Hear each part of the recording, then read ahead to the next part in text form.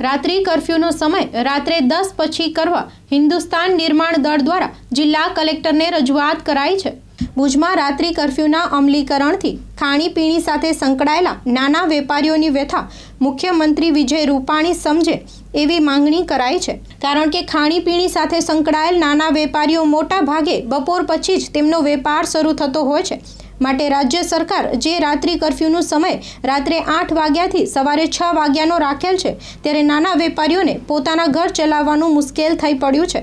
માટે કર્ફ્યુનો સમય રાત્રે દસથી સવારે છ રાખવામાં આવે તો નાના વેપારીઓને થોડી રાહત થાય તેમ છે.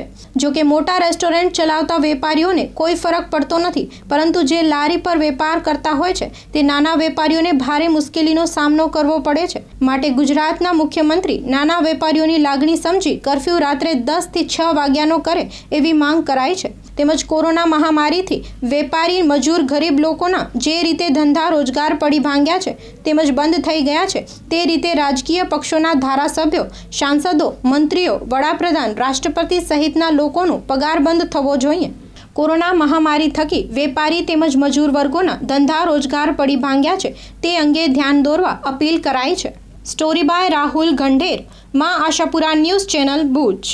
આજે હિન્દુસ્તાન નિર્માણ દળ દ્વારા મુખ્યમંત્રીને સંબોધીને કલેક્ટરશ્રીને અમે આવેદનપત્ર પાઠવ્યું છે કે જે કોવિડ ગાઈડલાઇન મુજબ જે રીતનું રાતના આઠથી સવારના છ વાગ્યાનો સમય કર્ફ્યુનો રાખવામાં આવેલ છે, એ સમયમાં સંવેદનશીલ મુખ્યમંત્રી વિજયભાઈ રૂપાણી એમ સમયમાં ફેરફાર કરી અને રાત્રે દસથી સવારના છ કરે જેના અનુસંધાને જે નાના વેપારીઓ, દાબેલીના વેપારીઓ હોય, પાણીપુરીના વેપારીઓ હોય, ભેળના વેપારીઓ જે લારી ઉપર પોતાનો ધંધા રોજગાર ચલાવે છે, આ વેપારીઓના ધંધા માત્ર સાંજના જ ચાલે છે.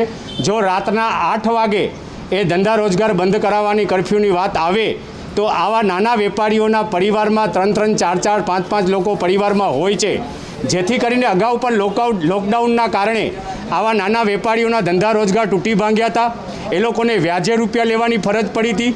ફરી એકવાર એવો સમય આવ્યો કે રાતના આઠથી છ જે સમય છે, એ સમય નાના વેપારીઓને હાલાકી કરવી પડે, એને ભોગવી પડે. એના માટે કરીને અમે કલેક્ટરને આવેદનપત્ર પાઠવ્યું છે કે નાના વેપારીઓની લાગણીને સમજે અને રાતના દસથી સવારના છ વાગ્યા સુધીનો કરફ્યુનો સમય લાદવામાં આવે, જેથી કરીને નાના વેપારીઓ વ્યાજ કંદરીઓના કબજામાંથી બચી શકે, વ્યાજે રૂપિયા ન લઈ શકે અને પોતાના પરિવારનો ગુજરાન ચલાવી શકે.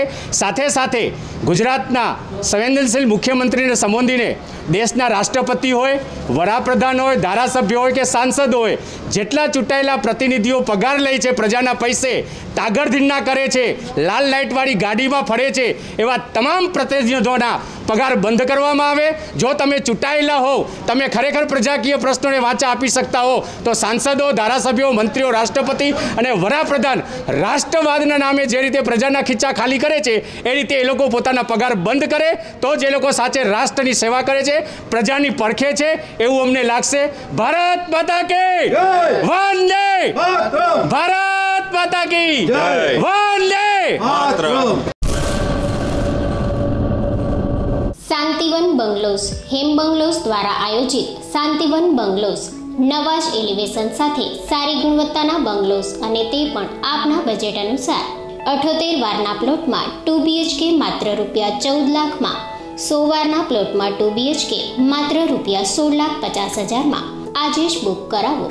આકર્ષક મેઇન ગેટ, મંદિર, સાર્વજનિક પ્લોટ, બાળકો માટે play area, club house, CC road, ગટર, પાણીની સુવિધા સાથેના નયનરમ્ય વાતાવરણમાં બાઉન્ડ્રી પેક ટાઉનશીપ એટલે શાંતિવન બંગલોઝ.